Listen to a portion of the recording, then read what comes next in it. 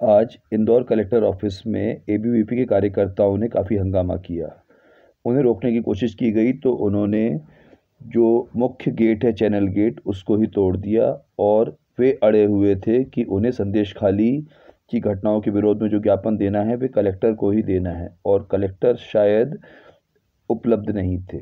इसी बात पर हंगामा हुआ। आइए देखते हैं पूरा वीडियो।